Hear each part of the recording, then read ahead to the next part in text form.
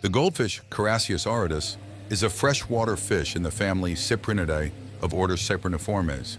It is commonly kept as a pet in indoor aquariums and is one of the most popular aquarium fish. Goldfish released into the wild have become an invasive pest in parts of North America. Native to China, the goldfish is a relatively small member of the carp family, which also includes the Prussian carp and the Crucian carp. It was first selectively bred for color in imperial China more than 1,000 years ago, where several distinct breeds were developed. Goldfish breeds vary greatly in size, body shape, fin configuration, and coloration. Various combinations of white, yellow, orange, red, brown, and black are known. Various species of carp, collectively known as Asian carp, have been bred and reared as food fish for thousands of years in East Asia. Some of these normally gray or silver species have a tendency to produce red, orange, or yellow color mutations.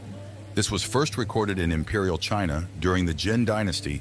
Wild goldfish typically grow to between 4.7 inches, 12 centimeters, and 8-7 inches, 22 centimeters, but can reach 16 inches, 41 centimeters.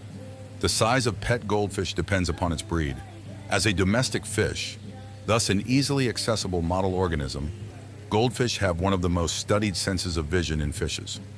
Goldfish have four kinds of cone cells, which are respectively sensitive to different colors, red, green, blue, and ultraviolet.